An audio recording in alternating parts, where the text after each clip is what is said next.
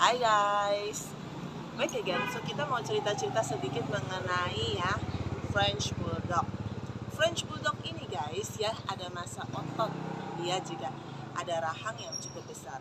Dia kuping yang sifatnya terbuka.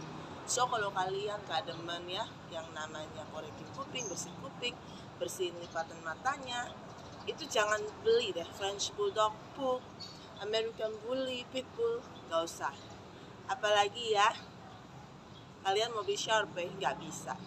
Mereka ya harus mandi dengan kering. Jangan kamu mandikan nggak kering. Kulit mereka sensitif mudah itchy terus juga untuk warna banyak warna. Tapi memang untuk jenis yang putih bisa lebih dapat terkena sakit kulit.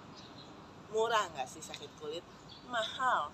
Pengobatannya cepat nggak sih lama ya untuk sakit kulit pengobatan gak cepat. Pengobatan paling cepat itu sekitar satu bulan. Tapi bisa berangsur-angsur sampai 4 bulan. Terus apa yang bisa terjangkit? Kaki, tangan, badan, tumor, ya itu bisa juga. Mau dikembangbiakan atau enggak? Itu tergantung kalian guys. Kalau nggak mau, cepetan steril, jangan sampai biometra ataupun prostat juga.